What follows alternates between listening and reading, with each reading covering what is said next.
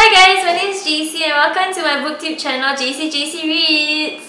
So basically I've been wanting to start this channel since the beginning of the year when I discovered booktube on YouTube.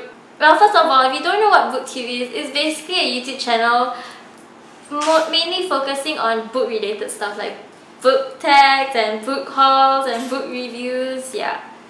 So since it's my first video, I decided to do the booktube newbie tag which is basically a series of questions which so that you guys will get to know more of why I started this channel and just stuff like that. So the first question is, why did you start this channel? Well, obviously I started this channel because duh, I love reading.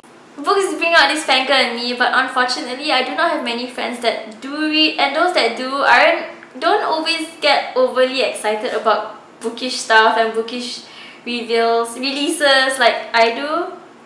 So by joining booktube i get to share my thoughts and ideas on books and stuff uh, bookish stuff obviously with other people who love reading as much as i do.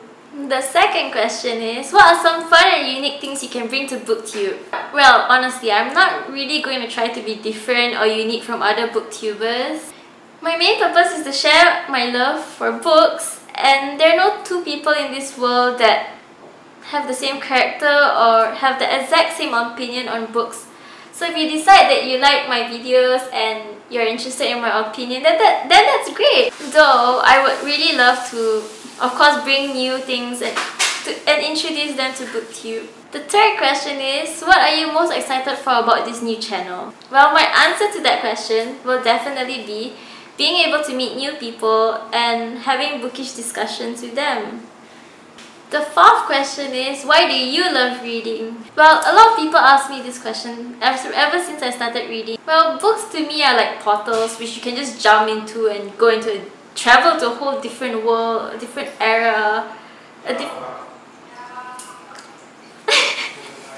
I love watching movies as well, but they can never have the same effect on me like books do. One moment you can be a kick-ass female warrior, and the next you can be a student having the best summer holiday ever. You go through different countries, eras, be it the past, present or the future. But also, you get to feel relief that you're not going through the challenges and the horrors that the main characters have to face because seriously, some of them are like, whew. Reading has become a really huge part of my life and honestly the past 8 years wouldn't have been the same if I had not picked up a book and started reading. The fifth question is, what book or book series got you into reading? I actually started reading when I was 8, so here goes. Fairy by Gwyneth. This book was honestly the first book that brought me into reading and honestly I've never stopped since then. This is basically the best kids series ever. The whole fairy series. I loved every one of them. Even until this very day, I still do have once in a while pick this out and just breeze through it just, just for fun. I mean, it's a really light read and it still, it still makes me happy. But what got me into reading YA would probably be the Inkheart series by Cornelia Funke. Funke? I could never pronounce her name right. But yeah, Cornelia's series in Inkheart, specifically Inkspell because yes, I started with the second book. And also another one would be the Thirst series by Christopher Pike.